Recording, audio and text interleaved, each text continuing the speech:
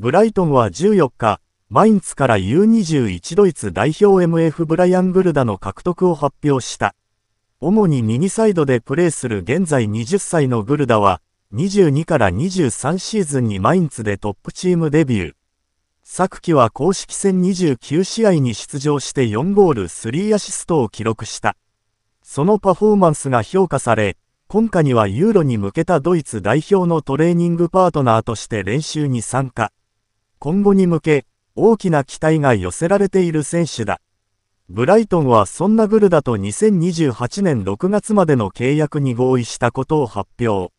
就労許可と国際クリアランスが条件となり、そこを経てクラブに入団することになる。ファビアン・ヒルツェラー監督は、ブライアンと一緒に仕事ができる機会を得られて本当に嬉しい。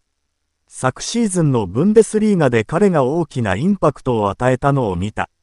彼は私が非常に尊敬している選手だ、としつつプレミアリーグは異なる挑戦になるが、ブライアンと一緒に仕事をし彼の大きな可能性を伸ばすのを手伝うのが楽しみだと獲得を喜んだ。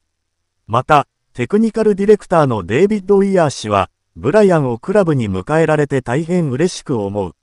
彼は私たちがしばらく追跡していた選手で、すでにブンデスリーガで非常に高いレベルでプレーしている。彼はファビアンがよく知っている選手で、一緒に仕事をするのを本当に楽しみにしているとコメントしている。